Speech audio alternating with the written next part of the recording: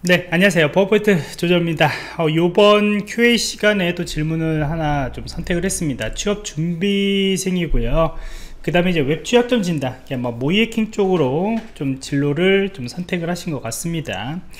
그래서 요 글을 통해서 또 이제 처음 이제 공부를 하시는 분들까지 좀 고려를 해서 하나씩 하나씩 좀 이렇게 어, 자세하게 좀 설명을 좀 드리도록 하겠습니다 우선은 우리가 이제 모의해킹 파트로 공부한다고 했을 때 아니면 뭐 이렇게 보안 쪽으로 공부하실 때 보통 이제 웹 취약점 진단을 할 때 제일 좋아합니다. 어, 이거는 제가 강의하고 있는 교육생들한테도 항상 이야기를 하지만은 다른 뭐 인프라 구조들을 뭐 인프라 보안 솔루션들이나 아니면은 이제 다른 시스템 관련된 해킹이나 뭐 이런 여러 가지들 앞에서 뭐 Linux도 공부하고 뭐 이렇게 공부를 하지만은 제일 좋아하는 파트는 웹 취약점 진단입니다. 왜 그러냐면은 우리가 공격하는 것들이 바로바로 바로 화면에 보이기 때문에 그래요. 그래서 어 저는 이제 보안 쪽으로 좀 공부를 할 때 처음 선택하는 것들이 이제 웹 쪽을 웹 취약점 진단보다는 이제 웹과 관련된 HTML, 뭐 JavaScript 이런 걸로 한번 이제 웹페이지를 간단하게 구성을 한번 해봐라. 왜 그러면 다른 리눅스나 그런 것들을 처음부터 공부하시려면은 이제 화면이 이제 콘솔로 이게 명령어로 이게 막 이렇게 CLI로 막 나오거든요. 그러면 이게 네트워크 공부를 할 때나 뭐뭐 공부할 때도 아 이게 재미, 재미가 없어요. 재미가 없는데 이제 웹 어플리케이션에 대한 HTML로 간단하게 이렇게 구성을 한번 해보시면은 웹에 대한 구조들도 이해하시고 그 다음에 이제 뭐 데이터베이스에 관련된 부분들도 공부할 수밖에 없는 것이고 그 다음에 이제 뭐 PHP 같은 경우 특히 이제 학생들이 처음에 많이 접하는 것이 PHP거든요. 그래서 PHP 같은 경우나 아니면 파이썬이라고 하는 뭐 요즘은 Django 많이 사용하잖아요. 그래서 그런 프레임워크들을 여러분들이 공부를 하실 때 이 웹 쪽을 먼저 이렇게 하시면 보이거든요. 예, 이렇게 눈에 탁탁 보입니다. 우리가 만든 게 보이면은 예, 재밌다는 것이죠 그 다음에 이제 보안 쪽으로 공부를 넘어갈 때 이제 웹 취약점과 관련된 부분들로 넘어와서 거의 대부분 현재 그 질문을 주신 분들 예, 질문을 주신 분과 함께 거의 이런 패턴으로 이제 공부를 하십니다. 어, 잘하고 계시는 거예요. 못하고 뒤에서 보시면 이제 회사에 도움이 될지 안 될지 막 마음이 이렇게 지원도 못하고 있습니다. 라고 하지만은 분명히 잘하고 계십니다. 근데 이제 어, 제가 의견을 드리면서 어떻게 준비를 하면 더 좋을지 예, 거기에 대해서 좀 이야기를 하려고 해요. 그래서 이제 실력을 쌓기 위해서 이제 webhacking.kr 굉장히 유명하죠. 어, 저도 요거 공부할 때 했어요. 그리고 지금 현재 보면 10 몇 년 됐죠. 15년 정도 했는데 그때부터 저도 이걸로 공부했었어요. 그 다음에 Root Me 러스트 Dreamhack 요즘 어, 유명하시죠. 그래서 공부를 하고 이제 실력을 쌓기 위해서 bug bounty 같은 거는 이제 CTF 대회를 종종 나간다. 거의 많은 학생들이 이렇게 합니다. 예, 이렇게 루틴을 찾아가지고 공부를 하십니다. 저는 이제 뭐 CTF 같은 경우나 버건티 같은 경우도 참여하시라 많이 참여하시라고 합니다. 특히 좀 시간이 좀 많이 있는 그 나이대 그러니까 학생 때부터 여러분들이 고등학생부터 이렇게 공부하신 친구들 같은 경우에는 당연히 이제 CTF 대회에 대한 수상 기회들도 훨씬 더 이제 많이 있잖아요 그만큼 이제 공부할 시간들도 많이 있고요. 그래서 그런 친구들 같은 경우에는 제가 이제 많이 하시라고 이야기를 하고요. 저 같은 경우에도 회사 다닐 때 이제 CTF 몇 번 나갔거든요. 저도 수상을 못했죠. 끝내는 이제 수상 못하고 이제 본선까지만 좀 나갔다가 아주 피를 보고 왔죠. 너무 잘하시는 분들이 뭐 많기 때문에 그때 이제 아 나는 CTF 대회는 아닐 건가 이렇게 해가지고 이제 했고 버거 바운티 같은 경우도 종종 이제 참여를 좀 하고 있고요 어, 그런데 이제 문제는 뭐냐면은 얘가 이제 문제죠. 왜냐면 CTF 대회 같은 경우에는 여러분들이 참여하는 것은 좋은데 결과로 이제 면접할 때 결과로서 보인 것이 수상이에요. 근데 수상하는 것이 그렇게 쉬운 게 아니거든요. 굉장히 많은 참여자들 그 다음에 이전에 이제 수상을 했던 팀들도 수상을 놓치지 않거든요 그래서 보통 1위에서 이제 3위 정도까지 이제 수상하신 분들이 거의 뭐 이렇게 다 그 동아리나 아니면 학교 이제 뭐 어떤 회사 그런 데서 이걸 놓지를 않아요. 놓지를 않습니다.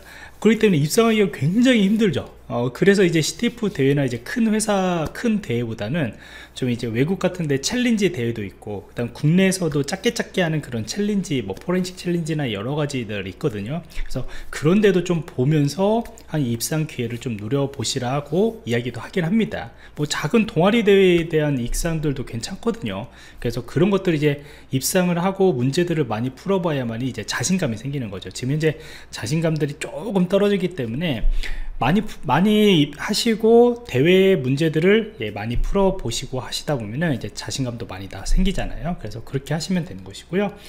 지금 왜 또 이제 좀 자신감이 좀 내려간 부분들도 있냐라고 하면은 너무 이제 큰 대회나 그런 데도 참여를 하다 보니까 예, 수상하고 그 다음에 문제도 어렵거든요. 큰 대회도 어렵다 보니까 문제들이 안 풀어지거든요. 그렇기 때문에 좀 작은 대회들을 좀 많이 종종 나가라 이렇게 이야기를 하고 싶습니다.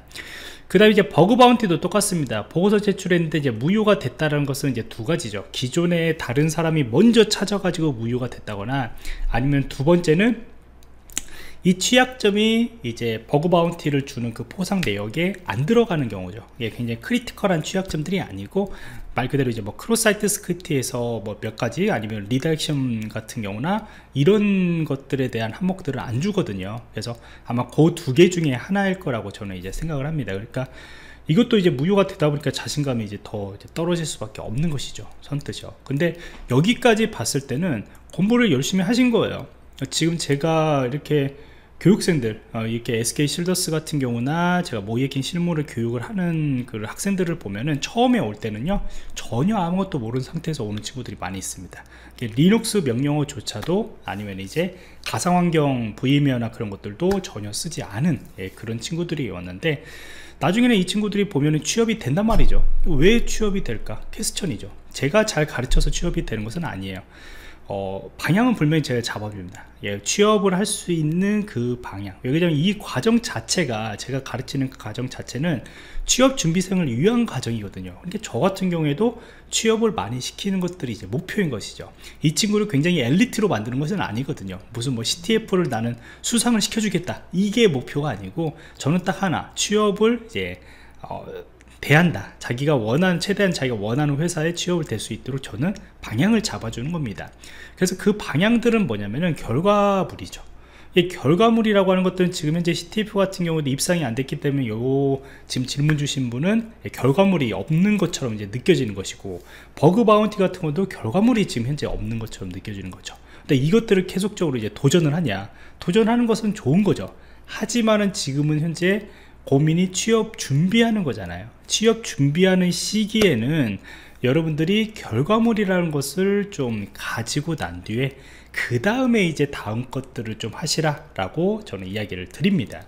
그러면 결과물이라고 하는 것은 뭐냐면 제가 항상 종종 많이 이야기를 하잖아요. 어, 유튜브에서 이야기를 많이 하게 되는 것인데 이러한 인프라들을 구축한다. 너무 복잡하면은 그냥 웹 서비스나 시스템 쪽이나 하나만 여러분들이 구축을 하셔도 상관이 없습니다 너무나 처음부터 너무나 크게 구축을 하면 힘들기 때문에 물론 이제 좀 장기적으로 여러분들이 공부를 하신다면 분명히 구축을 하셔야 돼요 인프라도 구축을 하고 실무처럼 구축을 하시고 난 뒤에 그 안에서 이제 공격 기법들이 조금 다르거든요. 우리가 웹 서비스 하나를 구성했을 때 하고 그 다음에 이런 환경으로 어, 실무하고 동일하게 구성을 하고 난 뒤에 어떤 시나리오 모의의 기행을 하는 거 공격 기법들이 조금 조금 달랍니다.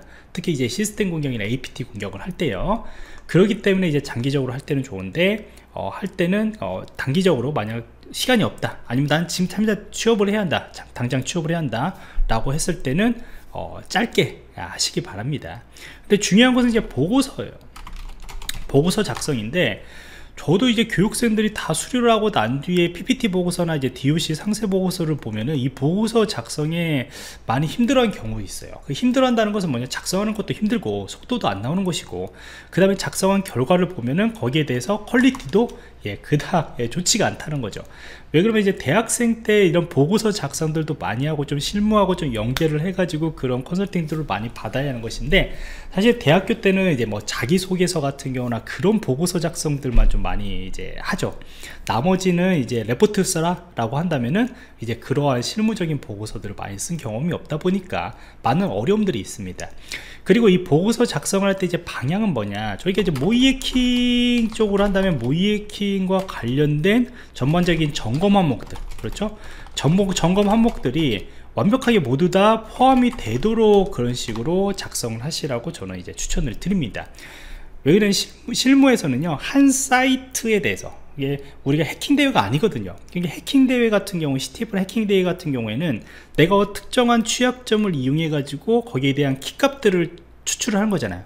키값들을 얻으면은 이제 어, 미션이 이제 clear가 되는 것인데 모이킹에서는 그런 게 아니란 말이죠. 취약점을 획득을 하고 난 뒤에 내가 어디까지 이것들을 위협을 줄 수 있냐 개인정보를 내가 취득을 할 수 있냐 아니면 시스템까지만 취득을 할 수가 있냐 아니면은 이 고객사 입장에서는 가지고 있는 어떤 주유정보통신 기반 시설 주유정보통신이면 주유정보통신 기반에 대한 어떤 기술적 취약점 진단 예수 진단 가이드가 있죠. 가이드가 있죠. 이런 것들이 점검 항목들이 다 점검을 했을 때 몇 개 취약점들이 또 나올 수 있냐. 그래서 그 몇 개 취약점 안에서 우리한테 줄 수 있는 보안 위협들이 뭐냐. 이런 평가들이 주어지는 것들이 하나의 이제 큰 보고서인 거죠 그게 바로 이제 결과물인 것이죠.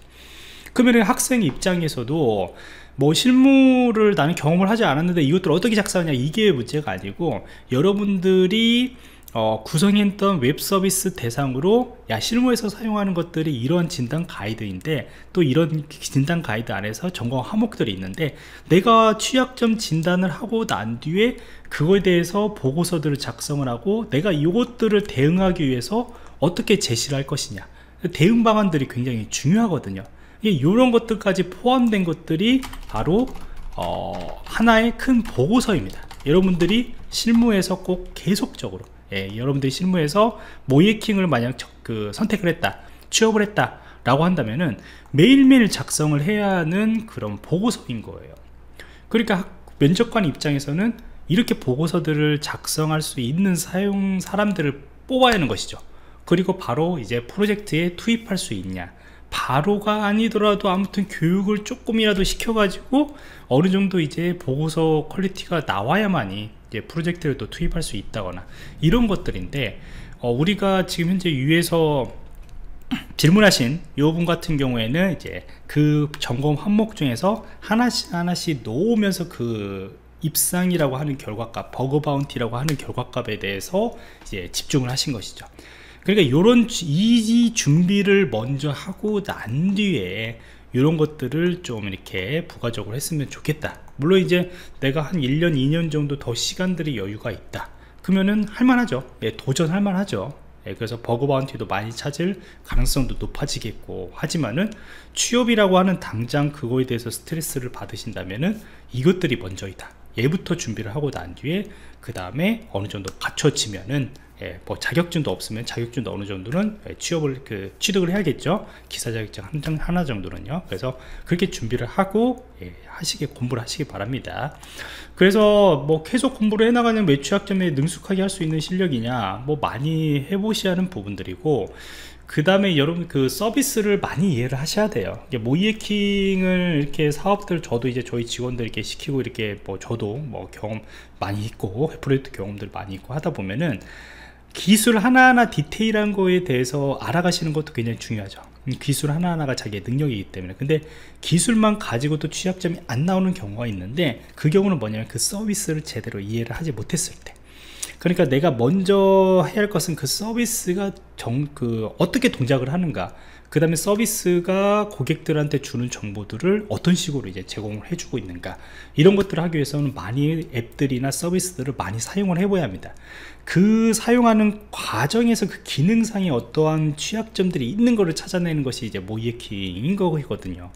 근데 이제 너무나 이제 기술적인 것들만 자꾸 자꾸 건들면서 뭐 SQL 인젝션이 있냐 cross-site script가 있냐 뭐 이런 것들만 너무나 이제 입력값이나 그런 것에 대해서 집중을 하다 보면은 이 서비스를 이해하지 못하고 취약점들을 찾아내는 경우도 있습니다. 그래서 보통 이제 실무에서는 인증 처리 미흡과 관련된 부분들이나 어떤 구조상의 그러한 어, 흐름들 서비스 흐름에서 발생할 수 있는 그런 오류들이 많이 발생을 하거든요. 그래서 그걸 서비스를 이해를 많이 여러분들이 하시려고 노력을 해야 하는 겁니다. 그래서 많이 사용하세요. 서비스를 이용을 하면서 어, 한편은 우리는 이제 보안 전문가가 되려고 하는 거잖아요. 그래서 서비스 이용하는 과정에서 내가 이거를 보안상 어떤 문제들이 있을까? 이것까지 조금 한번 고민을 해 보시면서 좀 이렇게 사용해 보시면 좋지 않을까? 예, 저는 그렇게 좀 생각을 합니다